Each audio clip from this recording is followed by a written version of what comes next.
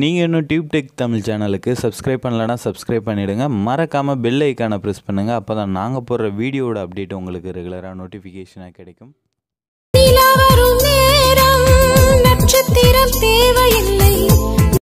தமிழால் இணைந்த அனைத்து நல் உள்ளங்களுக்கும் அன்பான வணக்கம். இன்றைக்கான வீடியோவில் இப்போ நீங்கள் ஸ்க்ரீனில் பார்க்குற மாதிரியான கலர்ஃபுல் லிரிக்ஸ் வாட்ஸ்அப் ஸ்டேட்டஸ் வந்து எப்படி அலைட் மோஷன் ஆப்பை யூஸ் பண்ணி எடிட் பண்ணுறது அப்படின்னு சொல்லி தான் டீட்டெயிலாக இந்த வீடியோவில் பார்க்க போகிறோம் ஸோ இந்த வீடியோவை அப் டு எண்டு வரையும் ஸ்கிப் பண்ணாமல் பாருங்கள் உங்கள் மொபைலில் இருக்கக்கூடிய அலைட் மோஷன் ஆப்பை வந்து ஓப்பன் பண்ணிக்கோங்க. நீங்கள் இன்னும் அலைட் மோஷன் டவுன்லோட் பண்ணல அப்படின்னா டிஸ்கிரிப்ஷனில் இருக்கக்கூடிய லிங்க்கை கிளிக் பண்ணி டவுன்லோட் பண்ணிக்கோங்க.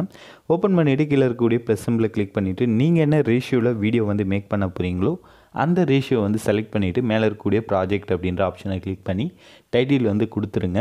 ஸோ கொடுத்து முடிச்சுட்டு கீழே க்ரியேட் ப்ராஜெக்ட் அப்படின்றத கொடுத்தீங்க அப்படின்னா ப்ராஜெக்ட் வந்து கிரியேட் ஆகிடும் அதுக்கப்புறம் கீழே இருக்கக்கூடிய ப்ளஸ் சிம்பிளை கிளிக் பண்ணி நீங்கள் என்ன பேக்ரவுண்ட் வீடியோ ஆர் இமேஜ் வந்து ஆட் பண்ண போகிறீங்களோ அதை வந்து செலக்ட் பண்ணிக்கோங்க. நான் ஸ்டார்டிங்கில் பார்த்தா அந்த பேக்ரவுண்ட் இமேஜை வந்து ஆட் பண்ணிக்கிறேன். ஸோ இந்த இமேஜோட லிங்க் வந்து நான் டிஸ்கிரிப்ஷனில் கண்டிப்பாக கொடுக்குறேன். டவுன்லோட் பண்ணிக்கோங்க. ஆட் பண்ணதுக்கப்புறம் அந்த வீடியோ இல்லை இமேஜை வந்து நம்ம கரெக்டாக ஸ்க்ரீனில் வந்து செட் பண்ணோம். ஸோ ரீசெண்டாக பார்த்தீங்க அப்படின்னா நம்மளோட சப்ஸ்கிரைபர் ஒருத்தர் இன்ஸ்டாவில் வந்து ஒரு ஸ்க்ரீன்ஷாட் அனுப்பிச்சிருந்தாரு. நீங்களும் four is to five ratio தான் வந்து செலக்ட் பண்ணுறீங்க நானும் அதே தான் வந்து செலக்ட் பண்ணுறேன் பட் உங்கள் மொபைலில் பார்த்தீங்க அப்படின்னா பெருசாக தெரியுது. எனக்கு ரொம்ப சின்னதாக தெரியுது ப்ரோ அப்படின்னு சொல்லி கேட்டிருந்தாரு. பட் பார்த்தீங்க அப்படின்னா ஒவ்வொரு மொபைல்லையும் ஒவ்வொரு ஸ்க்ரீன் டிஸ்பிளே சைஸ் இருக்கும். ஸோ அதுக்கு தகுந்த மாதிரி அலைட் மோஷன் அந்த ஸ்க்ரீன் டிஸ்பிளேவை வந்து காமிக்கும் நமக்கு. ஸோ அது வந்து ப்ராப்ளம் கிடையாது.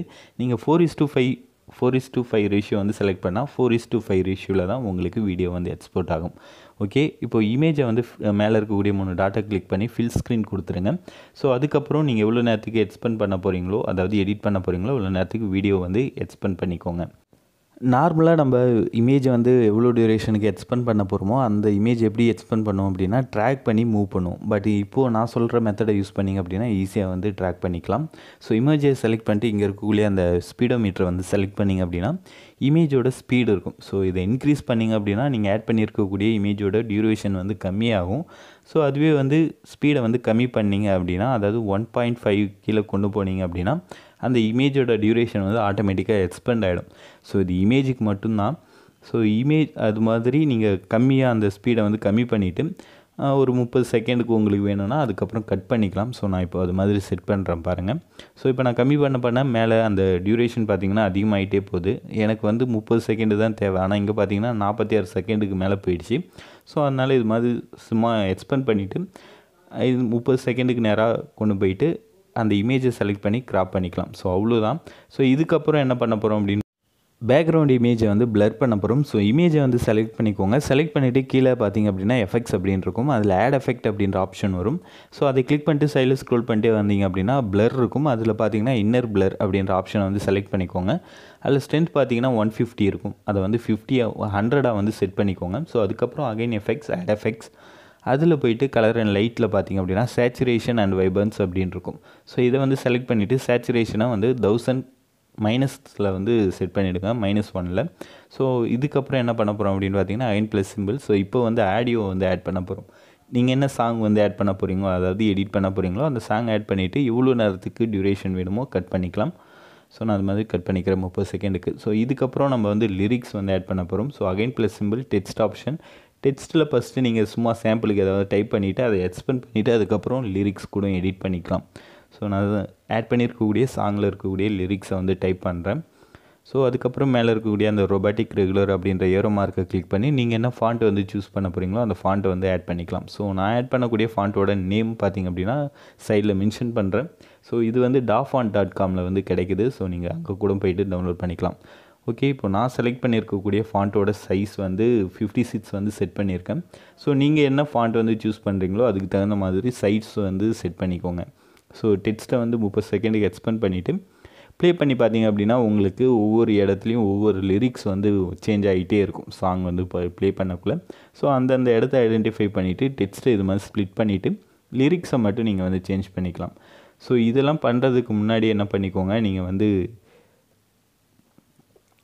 லாங் ஷேடோ அப்படின்ற ஒரு ஆப்ஷன் இருக்கும். ஸோ அதை வந்து ஆட் பண்ணிக்கோங்க. ஸோ நான் வந்து கட் பண்ணிட்டேன். ஸோ அதனால் நான் வந்து அகைன் அண்டு கொடுத்துட்டு அதை ஆட் பண்ணிவிட்டு அதுக்கப்புறம் உங்களுக்கு வந்து ஸ்ப்ளிட் பண்ணி காமிக்கிறேன். ஸோ இதெல்லாம் பேசிக்கான விஷயம் தான். இதை பற்றி ப்ரீவியஸ் வீடியோவில் நான் வந்து சொல்லியிருக்கேன். பட் நிறைய பேர் வந்து இந்த லாங் ஷேடோவில் வந்து மிஸ்டேக் பண்ணுறீங்க ஸோ டெக்ஸ்ட்டை வந்து செலக்ட் பண்ணிவிட்டு கலர் அண்ட் லைட் போங்க. அதில் கீழே ஸ்க்ரோல் பண்ணிட்டே வந்தீங்கன்னா லாங் ஷேடோ அப்படின்னு சொல்லி கொடுத்துருப்பாங்க.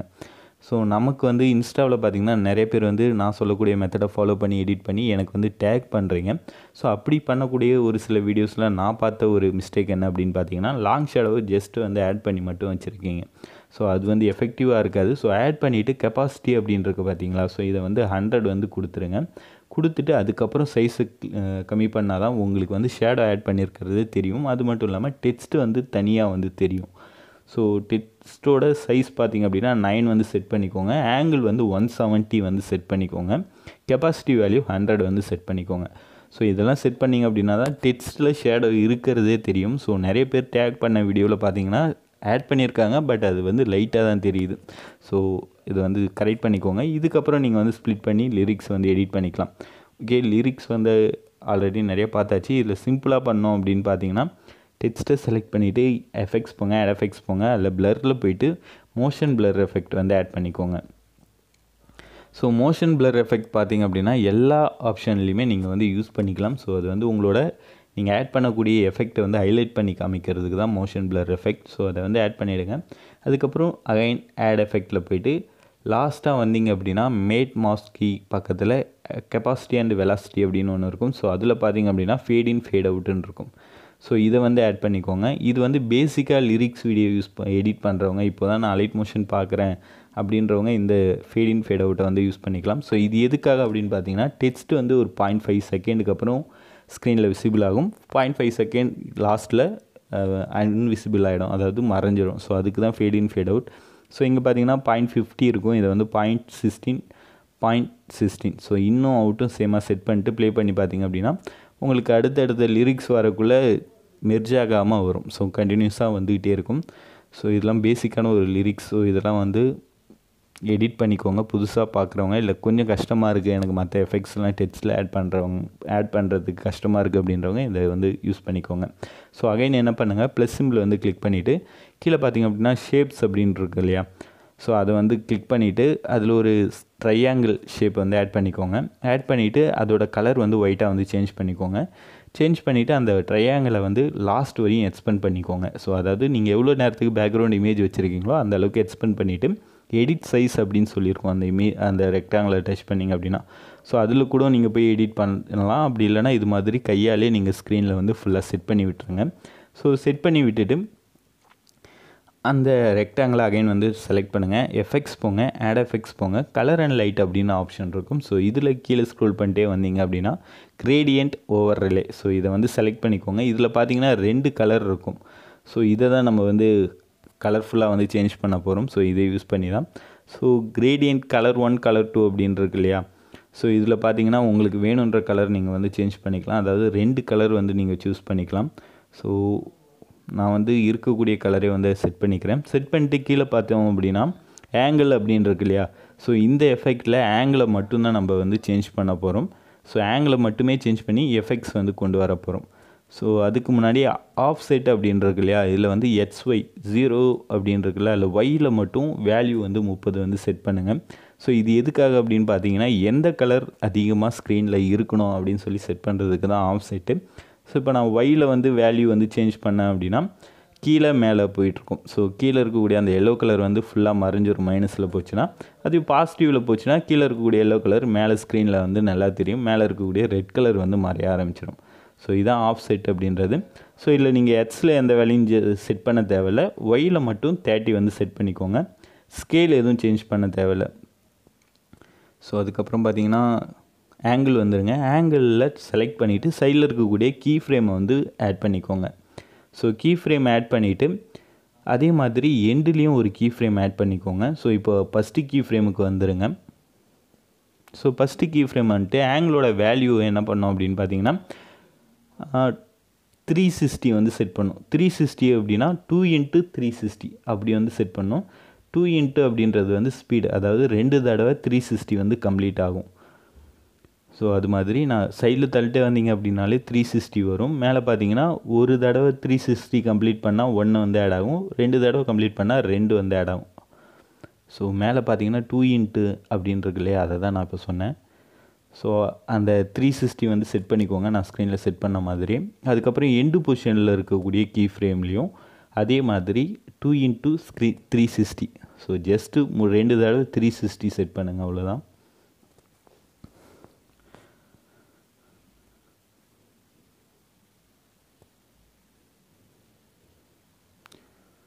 ஓகே இப்போ பார்த்தீங்கன்னா த்ரீ சிக்ஸ்டி வந்து செட் பண்ணியாச்சு.